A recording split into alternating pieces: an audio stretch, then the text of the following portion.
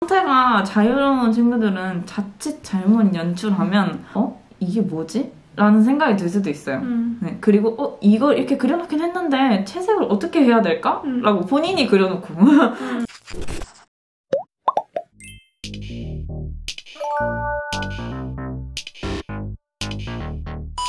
안녕. 오늘은 오랜만에 다다쌤이랑 스케치 영상으로 돌아왔어요. 오늘 뭐 스케치 하신 건지 소재 설명 먼저 해주세요.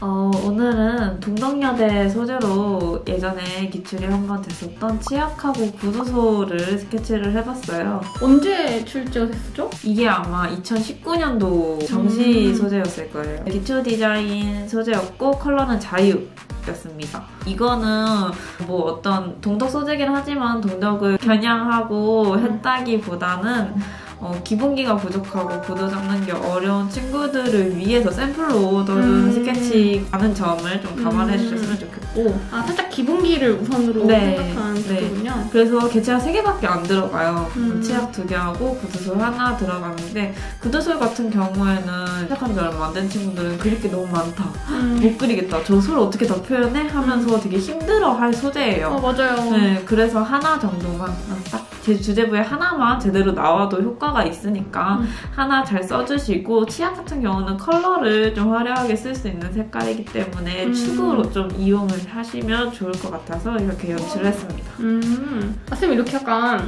네, 썸네일. 썸네일을 했잖아요. 좀 이거가 뭔지 한번 얘기해 주세요. 어, 썸네일은 이렇게 이름에서 보면 알겠지만 썸 딱 이 손가락만한 아이디어 스케치를 말하는 거고 썸네일은 큰 그림에 옮기기 전에 본인이 어떻게 스케치를 하고 어, 연출을 할 건지 미리 좀 정해놓는 그러니까 한번 이렇게 아이디어를 한번 그려보는 거죠 여러 개 해보는 과정이고 이 과정을 거치고 나서 큰 종이로 들어가게 되면 좀 더 안정적인 구도와 연출이 그쵸. 나오게 되죠 그쵸 그쵸. 어떤 친구들은 색깔도 칠해보기도 하고 맞아요.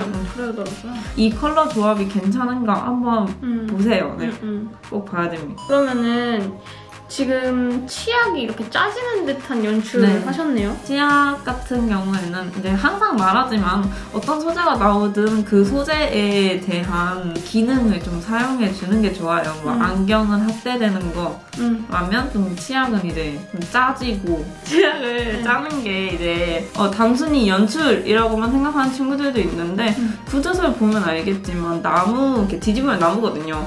나무 부분만 그리기에는 뭔가 할 게 없어. 밋밋하고 음. 솔 부분 앞으로 놓자니까 그렇게 너무 많아. 어, 그럴 맞아요. 때 이제 치약으로 살짝 가려주시면 아. 꿀팁. 구두 소울에 있는 솔 부분은 네. 원기둥 하나하나 하나 이렇게 다 잡아야 되는 거예요? 아 이제 스토- 기둥이 보이는 옆면 이제 보면 이렇게 옆면만 원기둥을 잡고 그 아. 위에는 그냥 같은 투시의 타원을 아. 반복해서 살짝 그려놓기만 했어요.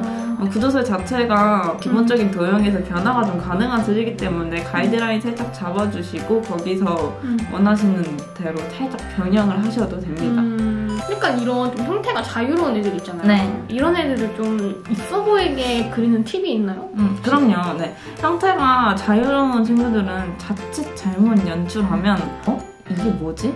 라는 생각이 들 수도 있어요. 음. 네, 그리고 어 이걸 이렇게 그려놓긴 했는데 채색을 어떻게 해야 될까? 음. 라고 본인이 그려놓고 음. 고민이 될 만한 스케치들을 해놓는 친구들이 있는데 음. 어, 감당하기 힘든 친구들은 덩어리를 만드세요.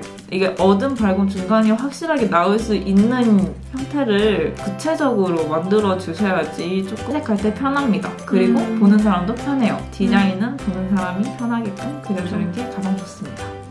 그렇다면 같은 맥락에서 이 튜브도 네네. 잘 구겨지고 뭐 이런 식으로 납작해지기도 하고 하잖아요. 네, 튜브도 마찬가지로 뭐 덩어리 위주 그리고 구체적인 형태가 나오게끔 해주시는 게 좋고 너무 이제 돌아가는 면이 너무 각이 없거나 음. 너무 유려하게 움직이면 튜브 같은 경우는 좀 어색할 수도 있어요. 그래서 음. 좀 실제 우리가 쓰는 치약을 상상하면서 각 도 만들어주고 음. 거기서 이제 꺾이는 면이 나오면서 묘사도 올라가겠죠? 음. 그런 거 하나하나 생각해서 음. 본인이 본인의 능력을 가장 잘 끌어낼 수 있도록 연출하는 게 제일 중요해요. 그러니까 음. 어떤 식으로 연출해라 말고 내가 잘할 수 있는 거를 극대화해서 잘 음. 보여줄 수 있는 연출 음. 그게 제일 중요해요. 여러분들이 스케치 할 때에 궁금한 점들을 댓글로 한번 써주시면은 네.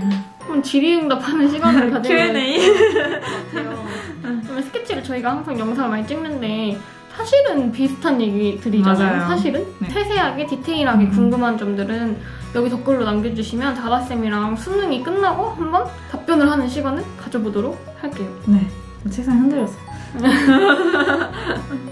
그러면 수능 공부 다들 열심히 하시고 저희는 또 다음에 봐요. 안녕. 이렇게 펜톤. 펜톤 후드티예요.